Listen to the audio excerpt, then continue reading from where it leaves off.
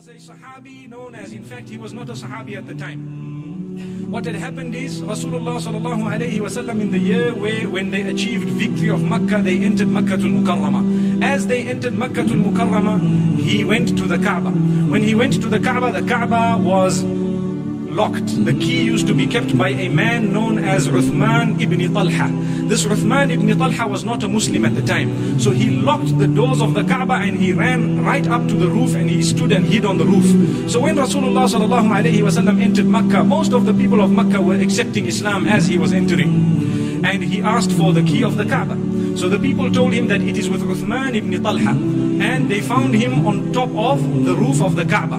So Ali radiallahu anhu told him, Ya Uthman, give us the key. Here is Muhammad sallallahu alayhi wasallam asking for the key. And he said, Oh Muhammad, if I had believed that you were a prophet, I would have opened the doors a long time ago. What this means is I don't believe that you are a prophet, so I'm not going to open the door. And Ali radiallahu anhu happened to snatch the key from this man, Uthman ibn Talha. And he opened the door of the Kaaba and Rasulullah sallallahu alayhi wasallam entered the Kaaba and read two rakat salah in the Kaaba and Al-Abbas ibn Abdul Muttalib, the uncle of Muhammad sallallahu alayhi wasallam was there and he told Rasulullah sallallahu alayhi wasallam, Ya Rasulullah, do you know that I am in charge or our family is in charge of pouring water for the Hajis? Pouring water for those and quenching the thirst of those who come for Hajj. So if you hand the key over to us, we will have two points of honor. One is to pour the water and the other is to open and close and lock and open the door of the Kaaba as and when it is necessary. So Jibreel alayhi salatu wasalam came down with a verse inside the Kaaba. This is one verse which was revealed in the Kaaba. Subhanallah. إن الله يأمركم أن تؤدوا الأمانات إلى أهلها Allah is commanding you to return the trusts to those whom they belong to. Which means, oh Rasulullah sallallahu alayhi wasallam, give the key back to Uthman ibn Talha. This is what was meant. So, immediately Rasulullah sallallahu alayhi wasallam got up, gave the key to Ali ibn Abi Talib and told him, go to Uthman ibn Talha, return the key and excuse yourself for the manner in which you had snatched the key. So Ali radiallahu anhu went back to Uthman ibn Talha and told him, Ya Uthman, this is the key and we excuse ourselves, we are presenting an excuse because we were wrong the way we snatched the key from you.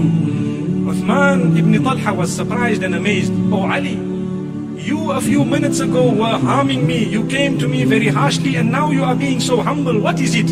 He said, Wallahi ya Uthman, qad anzal Allahu fika Qur'ana. Wallahi, O Uthman, Allah has revealed regarding you Quran. Allah says, Inna Allah ya'murukum an tu'addu al-amanati ila ahliha. Allah has instructed Muhammad sallallahu alayhi wasallam to return this amana to whom it belongs to. For that reason, this key has been given back to you here. Immediately Uthman ibn Talha said, Inni ashhadu an la ilaha illallah wa ashhadu anna Muhammadan abduhu wa rasuluh. I bear witness that indeed Allah is one and Muhammad sallallahu alayhi wa sallam is none other than the messenger of Allah subhanahu wa ta'ala. Do you know what happened? Jibril alayhi salatu wa salam came down with more revelation, this time not in the form of Quran, but in the form of an instruction to Muhammad sallallahu alayhi wa sallam. Ya Muhammad, get up and inform Uthman ibn Talha that the key of the Kaaba will remain in his progeny and family until the day of Qiyamah. Wallahi, my dear listeners, to this minute, the key is with the members of the family of Uthman ibn Talha radiallahu.